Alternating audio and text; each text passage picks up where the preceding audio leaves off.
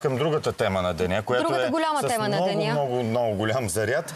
Да ви представим и гостите в студиото. Ще пуснем кратък отказ от изказванията вчера, включително и на премиера. Но в студиото Светлана Боянова от Българска аграрна камера. Тя е и бивш заместник министр на земеделието в един по-ранен период. Георги Ангелов познават добре нашите зрители, експерт. А, да видим последното, което беше разменено като реплики. От страна на управляващите А, и ще коментираме, да. Да, към земеделските производители, а пък после в разговора ще се опитаме да през нашата си оптика на потребители и през оптиката на националния интерес наш като економика да погледнем към тази тема. Но най-напред реплики от вчера и онзи ден. През последните два дни те започнаха да се държат като терористи. Използват фалшиви аргументи, поставят искания незабавно да се случи това. Ако не го направите, ние ще блокираме държавата. Аз с терористи не преговарям. За съжаление имаме слаб земеделски министр. Академик Денков е млад премьер. Във всички случаи на никой премьер протестите не са му приятното нещо. Аз уважавам изключително много труда на всички земеделци, на всички производители на плодове, зеленчуци, мляко, месо, тези, които произвеждат нашата храна. И съм готов да работя с всеки един от тях. Ако някой от тези хора се е почувствал засегнат от моите думи, те не са насочени към тях, аз съм готов да се извиня. Но има други, и на тях не виждам за какво да се извинявам. Това са тези, които получават лъвския пай от многомилиардните помощи, които бяха дадени през последните години, с които помощи от Европейския съюз и бюджета те си построиха вили, купиха си яхти и скъпи коли и голяма част от тези хора в момента са в сърцето на организацията на този протест. На тях не виждам за какво да се извинявам и моят призив към хората от аграрния сектор е през следващите дни да решат в коя от тези две групи те искат да участват. И госпожа как Боянова ще сега? започне. От коя от двете групи сте? От тия, на които се извиниха или от тия, които не им се извиняват? Земеделски производител, ама този човек, може би всеки, който подкрепя земеделските производители, в главата му ще бъде терорист, така, така като го слушам. Въпросът е как ще ни убедите, че битката не е за лъвския пай и за интересите на шепа хора, а за интересите на производителите и нашите като на потребители. крайния, да. Значи, а- аз, освен, че съм от Българска аграрна камера, съм и нормален гражданин, майка на две деца и моите деца също искам да ги храна с безопасна, качествена, вкусна и по джоба ми. Сега за джоба, различен е джоба, очевидно, на хората. И какво ви кажа, възмущението е голямо, дори той не каза, че се извинява, каза, че е готов да се извини, което не му прилича, защото е министър-председател и той по никакъв начин не може да си позволи по този начин да разделя земеделските производители, на едни, които му харесват, ни на едни, които не му харесват. Най-лошото, знаете ли кое е, че самия министър-председател си позволява да измесва а, фокуса от реалните проблеми на земеделските производители. Дали ще е зърно, дали ще е плод и зеленчук, дали ще бъде мляко и млечни продукти, месо, пчелен мед. Той започва да говори за коли и вили. Това, Обаче не е е, ли това прав? показва отношението на Лъжа ли, е държавата. това, лъжа ли е това, госпожо Боянова, че има шепа едри а, собственици, укрупнили земя, които отклоняват получават, хайде не отклоняват, получават около 70% от субсидиите в най-субсидирания сектор на земеделието, зърнопроизводството. Това лъжа ли е? Това не е лъжа. Но може ли да ми кажете какво общо има това? В смисъл, може ли някой економист да ми направи директната връзка между субсидиите, които се получават по законен начин? Общото е интересен. Не, не. Това е общото то, е то е интереса. просто а, интересно за хората, защото е малко като зрелище, нали, това цялото нещо и говоренето. Ама премиера може би не знае, че който и да е земеделски производител, дали с много земя, дали с малко земя, първо няма, нека да обясним на вашите зрители, субсидия за зърно няма. Няма такова нещо. Има субсидия за всички земеделци на площ и за Това животни. грешка ли? Чувам, че а, експерти казват, трябва да се смени начина, да не е на а, площа на продукция и това ще а, бъде Това не зависи по-справедливо. от България, не зависи само от нас. Това е решение на Европейски съюз. Ще ви кажа защо. Единствената политика, която взема 31% от бюджета на Европейския съюз, която е обща за всички страни членки е земеделската. Не е Ама има ли случайно. значение? Повече Има площ значение. означава ли със сигурност и повече производство? Тоест нещо би ли се Не, променило? не се ако- дават пари по този начин. А, трябва да се отговаря на определени изисквания. Чак когато ти минат всички проверки, че си ги спазил, тогава ти дават субсидия. А в момента премиера казва, ми да, ние ги проверихме, дадохме им субсидиите. Ма май дахме им много. Много им Сега, дадохме. Това няма чуем логика. И господин Ангел, след малко само коментирайте един нов момент, който аз вчера за първ път чух от изказването а, на премиера. Той говори за лимити, за прагове на вноса от Украина. А, даже новата му покана беше, за да се уточни Какви параметъра продукти? на всеки Да. продукт по колко. Това би ли било работещ вариант, който да удовлетвори а, и протестиращите?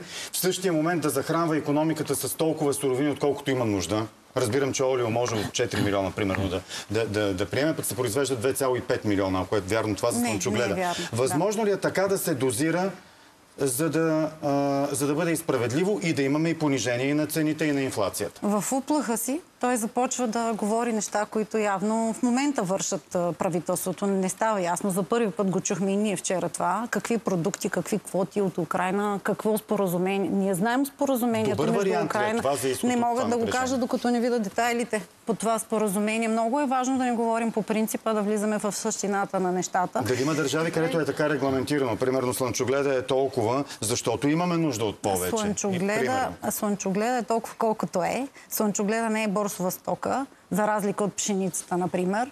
И когато Украина внася в България или където и да е, тя го внася на ниска цена, съответно, която е, да речем, по-ниска от това, което нашите, нашите производители на слънчоглед а, могат да направят като себестойност на своето производство. Това Добре, е цялата работа. Господин Ангел, за да включим и вас в разговора. Кой ни лъже, кой ни казва истината?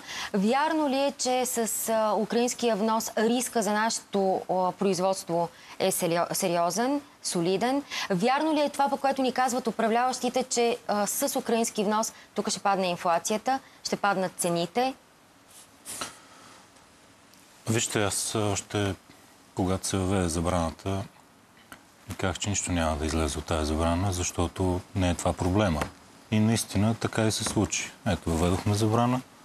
Какво се случи? Паднаха още цените. И слънчогледа, и пшеницата по- поевтиняха още повече. Така че не е вноса от Украина проблема, защото всъщност ние внос от Украина нямаме. Зърното преди забраната Украина беше 0,3% от нашето производство. Ние произвеждаме толкова много, внос от Украина е толкова А малко. сега? Сега вече в новите сега- условия? Няма. Просто дори миналата година при рекордно високи цени на зърното не си заслужаваше от Украина да се кара чак до България. Кара се през Румъния и на Констанца се изнася към целия свят. Няма. Тоест, вие изобщо не очаквате, че някакви количества, кой знае какви украинско зърно, ще тръгнат към Няма, България или дори и да тръгнат, те няма да са на тези атрактивни цени, които да подбият а, нашите цени. Така ли? Особено сега, когато падна световната цена, няма пък абсолютно никакъв смисъл да се кара чак до България. Ние всъщност бихме имали полза, ако може част от зърното да мине през нашите пристанища да се изнесе. Обаче румънците са по-бързи, а поляците също и така нататък. И те го взимат през техните пристанища. стане? Аз слушах. Да. За зърното е въобще... проблема на преработвателите? След като и без това няма да влезе, що не купят Проблема- българския слънчоглед, а той проблема- седи на складове. 600 а, от миналата година и 2 милиона от тази. А няма ли Като уникален пък чак за такъв пшеницата проблем. и за царевица? За Царевица и пшеница е няма друго, проблем. няма такъв въпрос. ли е? Слънчогледа е За слънчогледа нашия проблем е следния. Ние преди произвеждахме малко слънчоглед и потребявахме малко слънчоглед. Така, сега последните как е? 5 години направихме много фабрики за олио, но слънчогледа продължава да е малко. Ние не произвеждаме достатъчно слънчоглед. Защо не Ето това е един... българския, не е а той залежава, защото Това е не е скъп ли вярно, или... да. и- а- Да, имаме, Да, имаме достатъчно. 2, 2 милиона е в капацитета на преработвателите на година и ние ги имаме по Против всяка складовете. година, всяка година. Еми, значи четем различни цифри. Да Значи явно четем различни не цифри. произвеждаме Тоест има спор по достатъчно. въпроса, има ли достатъчно за производство на олио слънчоглед или няма има достатъчно? достатъчно и всяка година е имал достатъчно за нашите, нашите е Освен това, защо изместваме фокуса? Държавата се е загрижила за преработвателите ли? Това са частни отношения между земеделските производители и преработвателите. Нас като потребители ни интересува това дали ще се отрази на хората, като си купуват олио и цената. Да. Откакто има добре. забрана, няма Добре, но вие- промяна на цената посока Но вие не ли се притеснявате от ви украинския казах, не внос? работи За- тази забрана. забрана, Продължава забрана. да пада цената, Затова защото не е световните в- цени вървят надолу. Да. Това няма никаква Значи няма връзка с никаква Украина, връзка няма никаква връзка с забраната. Тогава? Ние Тогава не можем какъв да е променим проблема? световната Защо не цена. изкупуват е. тогава на производителите? Защо не го изкупуват Защо, да кажат те защо не го изкупуват. А тогава Ами защото защо не го продават? Защо затвориха внос? складовете Защото след като решението на Народното събрание се гласува на ден, спряха изобщо да купуват. Ако те купуваха на някаква цена, след решението преработвателите не купуват. Няма никакъв пазар.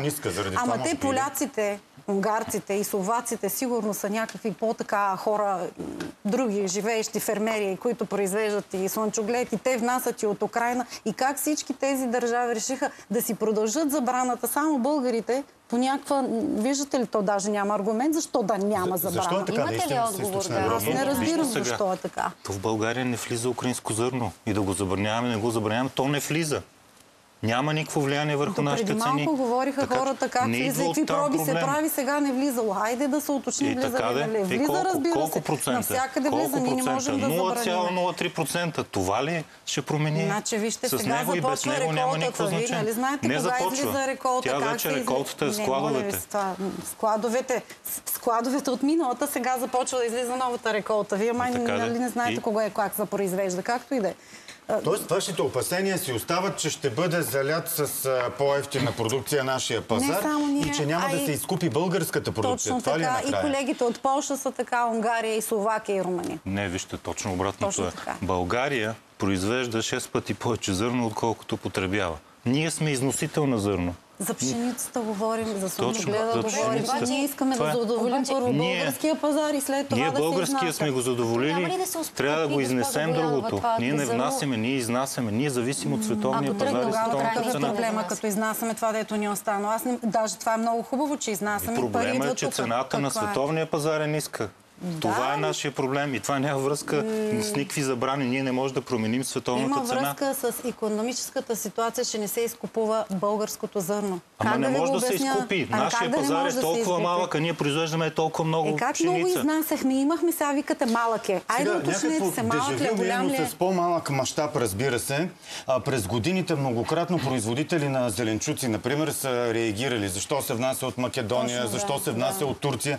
Видях някои от тях, макар че голяма част са в подкрепа на протеста, някои казват, абе те, тези с зърното специално през годините не ни подкрепяха, ние години наред поставяхме въпроса и нашата продукция беше изместена от вносната. Очевидно тези площи Отказват се хората в един момент да произвеждат зеленчуци и се засяват друго. Същия ли е в момента случая? Много ви благодаря, че с ме зърното. питате за, да, за и този дали, дали въпрос. са били сами преди в, в протеста си тези, които произвеждат домати и краставици? Не знам кой е рекал, чул, видял, казал. Много хора могат да кажат много неща. Ние сме с, както се казва, протестиращите са с лицата си. Организациите, които са поименно сложени в декларацията, са много ясни са от всички сектори. Ето да говорим, например, за меда, ако ми дадете възможност. А вноса от Украина се е увеличил почти двойно. От 517 хиляди тона на средна цена 3,22 през 21 и до 972 хиляди тона през 22 на средна цена 5,22. Вие питате ли един пчелар, български пчелар, как може да се справи с този внос? Същото е при а, плодове и зеленчуци. И до, даже не само от Украина. Ние па, в декларация сме казали от трети страни. Например, от Молдова на сливи. Сливите влизат в момента в целия Европейски съюз. България губи пазари именно поради този внос. Същото се отнася и за картофите, и за млякото и Сега така потребителя нататък. ще си каже, аз искам да ми е по-ефтино да се оправят. Как отговаряте на този? Защото тръгва, тръ- тръгваме винаги от цените накрая. Но то му е ефтино. Те се оправят. Само, че така се оправят по този начин за сметка на земеделския производител и всички цифри. Знаете ли, много е грозно, когато говорим за земеделието и за хората там в някакви екселски таблици. Това са реални хора. И фактите, ако говорим, нека да говорим за цифрите Добре, с обаче- намаляващите площи за плодове и зеленчуци, с намаляващо производство на, на мляко, въпреки субсидиите, за които се говори. Да, ама как изведнъж така Ами, избухна защото зърното тази си цялата тема? Не е земя. зърното, няма А, субсидия за зърно. Има Зър- таван на плащанията, които точно това правителство Две въведе. трети от нашата земя е зърно. Вижте, че ние си е. говорим Ние за- няма друга страна в Европа, си за стари- която Ма това две лошо трети- ли? Ма Ми, това две- лошо ли? Обясните ми Монокултура кое е ставаме, лошо. няма е, какво, лошо? Обяснете ми едно нещо, една причина, какво лошо има в това. Това е. Така сме направили субсидиите, че Не, не една сме ги култура превзема ние. всичко. Е, ги доста направи? въпроси. общи за. Не е вярно. европейските Ние фермери. приемаме, ние приемаме Това са по какъв начин да ги субсидии. Не, не ги разпределяме. приемаме. Не, много дълбоко не- Знаете, не че е за така. много неща има нужда от напояване, има нужда от инвестиции. Ми Ние защо подаваме- правителството не прави нищо Ако за даваме всичко напояване? за субсидии, Защо вместо да инвестираме не в напояване, за ще имаме само зърно. Добре, ето Това един е. въпрос. Ето ви го. Като е толкова зле цялата работа с субсидиите, защо правителството не, под- не промени закона за собствеността и ползването на земеделските земи и не каже, всеки ще гледа само до толкова земя? Ще ви кажа ли що? Защото това е част на собственост. Ако аз като собственик на земята възрастен човек съм на село, никога няма да тръгна да работя. Реших, я дам на господин Виктор Николаев, ние се разбираме, подписваме си договор, той взема земята. Това прави ли го него че е взел земята? Обяснете ми най-простичко.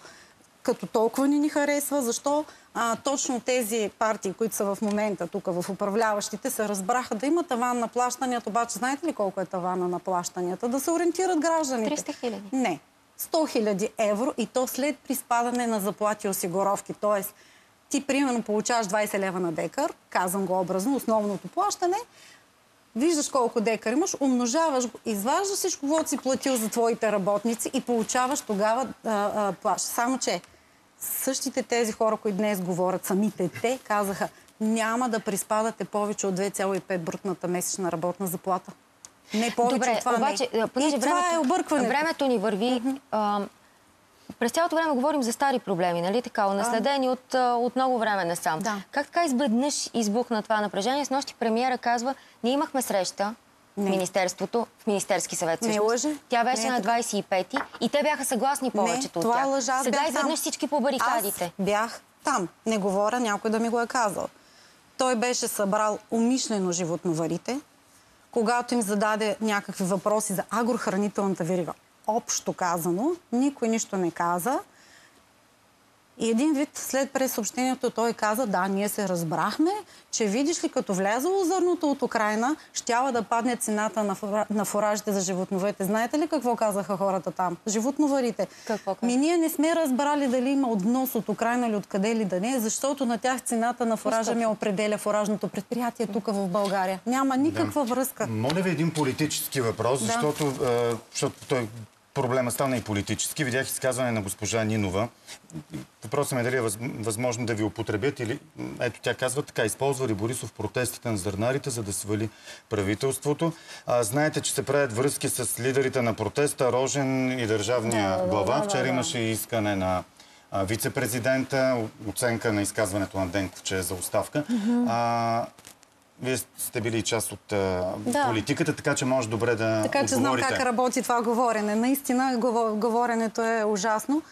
А, земеделските производители а, всячески искат да, да избягат от това политическо. Не може, защото държавната машина е по-силна съответно. Ако отидете преди овчар днеска и го питате, абе тук, да, геополитика, нали, така, а, дали за това протестираш, то всички сектори се обединяват, писнало име, и ние го превръщаме пак в някакви личностни... Почваме да квалифицираме някакви личности, какви били. Това Виждаме толкова ли е важно? Да, да. Виждаме, че са смисъл, различни. Премьера казва едно, председателя на земеделската комисия Десислава Танева пък подкрепя протеста. Тя подкрепа, ма като се вижда какво се гласува в парламента. Нали? Гледаме по действията, не по думите. Много Добре, е важно. с премиера, с земеделския министр, все пак ще се срещнете ли? Защото нали, търси, А, търси се уж решение, пък отказвате Може би не се търси решение, само да ви кажа. Привидно се търси решение. Ние бяхме тези, които поискахме среща преди да започнем всичко това. Да, да.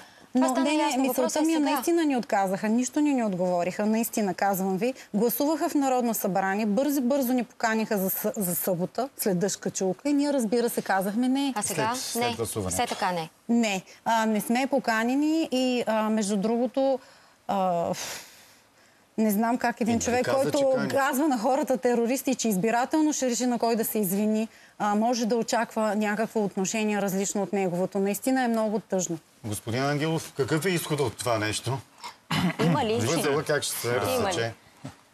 Значи, нека тръгнем от базовото. Ние сме износител на зърно. На нас ни интересува световната цена, защото по тази продаваме. Световната цена е ниска, защото Русия е наводнила пазара тая година с... Има най-добрата реколта, наводнила пазара и срива цената. Това не може да го е променим. важното на господина? Аз Не може да го променим важното са ни нашите български земеделски добре, как да производители, ги- а не борсите Какво и да международната Какво да търговия направим с световната цена? Ами Нищо, Нищо не може да направим. Тя си е такава каквато Това е, е. трябва ни да по-висока какво може да производителност направим за и конкурентност. тези хора, и въпросът е такъв. А, ние имаме 50-60% при нас парите отиват в големи стопанства от субсидиите. Няма такава западноевропейска страна. А във. Франция... Явно Ма това е законно, законно, така е това е законно. Ама ние сме решили колко да е тавана ние, и свързаните казвам. фирми дали ги гледаме или не ги гледаме. така, явно такава ни е структурата на разделяне. В, е, да. Холандия няма да видите или във Франция да дават 60% от парите на големи стопанства. Дават на малки и средни, които имат нужда. Големите нямат нужда. А, а, добре, Големите а- са супер печеливши, те са супер конкурентни. Ами Няма то по нужда от тази логика пара. може да кажем защо българите взимат по-малко европейски субсидии, отколкото от- в Германия. Това, това цитирате Германия. В пъти по-малко под средното европейско на Добре, подпомагане. нека по да сложим логика. точката тук, защото се Запетайка. връщаме пак на да, началото. Изход няма в отговор на това въпрос. Да, това, което виждам, че за сега изход